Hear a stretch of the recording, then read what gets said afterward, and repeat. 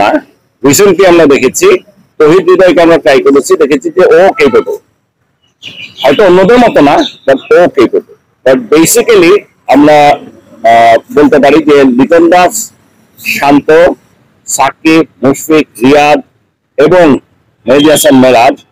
আমি বোলারদের কথা বলছি না, আমি ব্যাটিং লাইন আপের কথা বলছি, এরা মোটামুটি অল প্রুভেন একটা টুর্নামেন্টে বা একটা সিরিজে দু একটা প্লেয়ার সব প্লেয়ার যে প্রত্যেক দিন পারফর্ম করবে এমন কোনো কথা নেই।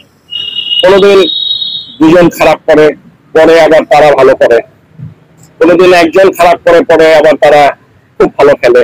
আবার যে আজকে খুব ভালো খেলছে, একটা ম্যাচে হয়তো খারাপ খেলবে, কি দুটো ম্যাচে খারাপ খেলে, আবার সে ভালো খেলে।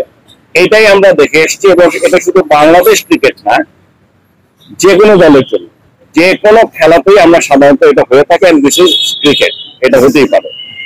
আনফর্চুনেটলি আমরা এইটা এইবার যেটা দেখছি, আমাদের প্রথম দিকে চার, পাঁচজনই রান পাচ্ছে না। যেটা নাকি এর আগে কখনো বাংলাদেশ দলে তো আমরা দেখি নাই, আমি কোনো দলেরও দেখি নাই। এরকম টুর্নামেন্ট খেলতে আসে এই লেভেলে যারা কোনো দলের আমরা কখনো দেখি নাই। সো এটা একটা সামথিং টোটালি আনএক্সপেক্টেড আমার আসলে এখানটায় আসার পিছনে কারণ একটাই ছিল। পরপর চারটা ম্যাচ ছেড়ে যাওয়ার পরে আমার কাছে মনে হয়েছে যদিও দলগুলো শক্তিশালী ছিল যে এখন ওদেরকে একটু মনোবলটা চাঙ্গা করা যায় কিনা। কারণ আমার কাছে মনে হচ্ছিল যে ওরা আসলে মেন্টালি হয়তো বা সাইকোলজিক্যালি হয়তো বা একটু ডাউন এদেরকে একটু কিছু করা যায় কিনা।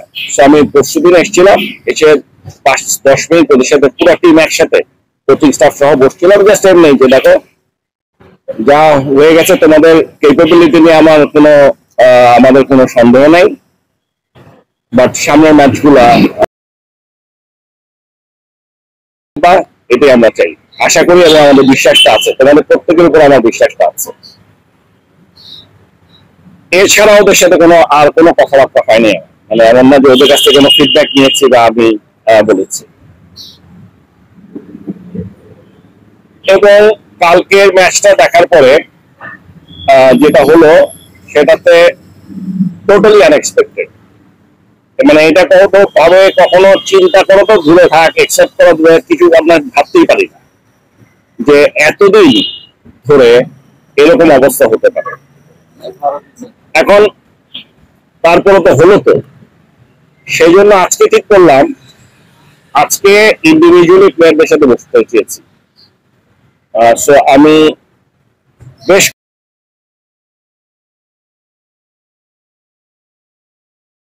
তাদের সাথে বসে জানতে চেয়েছি যে সমস্যা হচ্ছে কিনা কোনো কোনো ল্যাকিং আছে কিনা, তাদের কোনো কিছু লাগবে কিনা যেটা উই ক্যান প্রোভাইড কোনো কিছু অভাব তারা আছে কিনা। আমি এই জিনিসগুলো জানতে চেয়েছি এবং এখানটা আমি যেমন ধরেন বসেছি, আমি সাকিবের সাথে বসেছি, সব একা একা, আলাদা আলাদা। আমি মুশফিক, রিয়াদ, এই দুজন খালি একসাথে ছিল। মেরাজ লিটন দাস, এদের সাথে আমি বসেছি। ওদের সাথে কথা বলে ওপেনলি কথা বলতে বলেছি, যে কোনো সমস্যা থাকলে বলো যেটা বুঝেছি যে ওদের সকলের একটাই কথা সমস্যা না, ওরা রান পাচ্ছে না, এটাই সমস্যা। এবং প্রথম তিন, চারজন, পাঁচজন যদি রান্না করে এই লেভেলে এসে আপনার কোনো লাভ হবে না। পরে যে যদি আমরা ভালো করে অন্যরা ম্যাচ জিততে পারব না।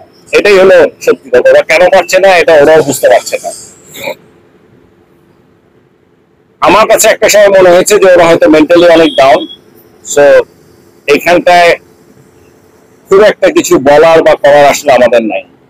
সেই জন্য যেহেতু একটা সিরিজ চলছে এটা ওয়ার্ল্ড কাপ বিশ্বকাপ এখানে এসে তো আমরা হুট করে ইচ্ছা করলে কোনো পরিবর্তন আনতে চেলেও কিন্তু আমরা পারব না। এই জিনিসটা হয়তো আপনারা সকলেই বুঝেন। এখানটায় আমাদের এখন কিছু করার নাই। যা আছে আমাদের সামনে আরও তিনটা ম্যাচ আছে। এই সামনের তিনটা ম্যাচ আমরা কীভাবে ভালো খেলতে পারি, এটা করা ছাড়া কোনো উপায় নেই। এবং এটা করতে গেলে দুটো জিনিস লাগবে। একটা হচ্ছে ওদেরকে সাহসটা ফিরিয়ে দেওয়া। ওদের মধ্যে সাহসটা জাগানো। ওদের মধ্যে বিশ্বাসটা জাগানো যে ওরা পারবে এবং ওরা পারে। এই বিশ্বাসটা, সাহসটা যদি ওদের নিজেদের মধ্যে না আসে, তাহলে কিন্তু আসলে ওরা সবসময় একটু টেন্টেটিভ থাকবে, একটু কনফিউজ থাকবেই। শট সিলেকশন করতে গিয়ে, মারতে গিয়ে শট খেলতে গিয়ে এরকম হতেই পারে। কাজে এটাই করার চেষ্টা করেছি এবং ওরা সকলে মিলে বলছে যে না দে আর অল ইউনাইটেড এবং তাদের মধ্যে কোনো সমস্যা নেই। এবং পরে আমার লাস্টে মানুষ বাংলাদেশের মানুষ ক্রিকেটকে এত ভালোবাসে ক্রিকেটের প্রতি তাদের যে প্যাশন এটাতে করে তারা যে কতটা কষ্ট পেয়েছে এটা চিন্তা করে ওরা আরও বেশি আরও বেশি ওদের কাছে খারাপ লাগছে। কারণ ওরাই তো এই সুপারস্টার আমাদের ছিল সব সময় এটা তো একদিন দুদিনের না এত বছরের ধরা ক্যারিয়ারে তো। আহ, এরা এরা রান পাচ্ছে না এবং ওরা এটা নিজেরাও মেনে নিতে পারছে না। ওটাই বললাম, ওদেরকে বলল এবং মানুষ এখন খারাপ বলবে, অবশ্যই বলবে। না বলার কোনো কারণই নাই। মানুষজন ক্রিকেটকে ভালোবাসে দেখেই তো এটা এইগুলোর সম্পর্কে, এই যে এই- ধরনের খেলা খেললে বা হারলে খারাপ বলবেই মানুষজন বোর্ডকে বলবে, মানুষজন কোচিং স্টাফকে বলবে, মানুষজন প্লেয়ারকে বলবে দ্যাট ইজ স্বাভাবিক। এটা নিয়ে আমরা একমত যে এখানে এটা আমাদের কোনো মানে বলা উচিত হয় নাই বা উচিত না, এসব কিছু না। তবে আমি ব্যক্তিগতভাবে মনে করি যেহেতু এখনও সিরিজ চলছে, এই এবং টুর্নামেন্টটা চলছে, আরও তিনটা ম্যাচ আছে, এই তিনটা ম্যাচে আমরা আহামরি কিছু করে ফেলতে পারব ওটাও যে জোর দিয়ে বলতে পারছি সেটাও না। এটা হলো রিয়েলিটি আপনাদেরকে রিয়েলিটিটা বুঝতে হবে। এটা এটা আমি বলছি না, তবে সক্ষম। আমি দৃঢ়ভাবে বিশ্বাস করি এখনও সম্ভব। তাদের ভালো ক্রিকেট খেলা। হারা জেতাটা বড় কথা না, ভালো ক্রিকেট খেলা। আমাদের ব্যাটিংটা ভালো হচ্ছে না। কাজে ওদেরকে এটাই বলেছি দে শুড ফাইট ব্যাক ওদেরকে ফাইট ব্যাক করা উচিত। ওরা কি চায় বলুক যখন যা লাগে আমরা আছি। ওদের যেটার প্রয়োজন আমরা করতে রাজি আছি, ওদের কোনো সাজেশন থাকলে আমরা নিতে রাজি আছি। ওরা কথা দিয়েছে, ওরা বসবে, তবে ওরা বলেছে ওদের তেমন কিছু চাওয়ার বা মানে কোনো কিছু নাই বলার এক্সেপ্ট টু পারফর্ম এখন পারফর্মটা তো আসলে ওদের নিজেদের মধ্যে আসতে হবে সাহসটা, ওদের নিজেদেরই খেলতে হবে। আমি কথা বলে মনে হয়েছে যে ওরা এখন অনেক বেশি সিরিয়াস এটা, এই ব্যাপারটা চিন্তা করছে যে কীভাবে আরও ভালো করা যায় এবং আশা করা ছাড়া কোনো উপায় নেই। ওদেরকে আমি আমার তরফ থেকে একটা কথাই বলেছি যে দেখো, খারাপ সময় মানুষজন সবাই খারাপ বলবে, এটাই স্বাভাবিক।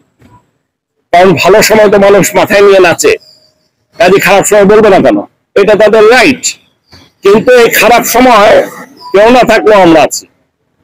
এই খারাপ সময়টায় ওদের পাশে আমরা আছি। কিসের জন্য আছি? সামনে ওরা যাতে ভালো খেলে সেই জন্য। এই বিশ্বাসটুকু ওদের উপর আমার আছে। আমাদের যেই শক্তি সামর্থ্য আছে, এটা নিয়ে আমাদেরকে লড়তে হবে। আমরা ইচ্ছা করলে এখন কোনো পরিবর্তন আনতে পারব না। কোনো জায়গায় মানে শুধু প্লেয়ার না, কোনো জায়গায় কোনো পুরো পরিবর্তন আনতে পারব না। কাজে এটাকে একটা চ্যালেঞ্জ হিসেবে নিয়ে সামনের ম্যাচগুলো ভালো খেলুক এই প্রত্যাশা তাদের কাছে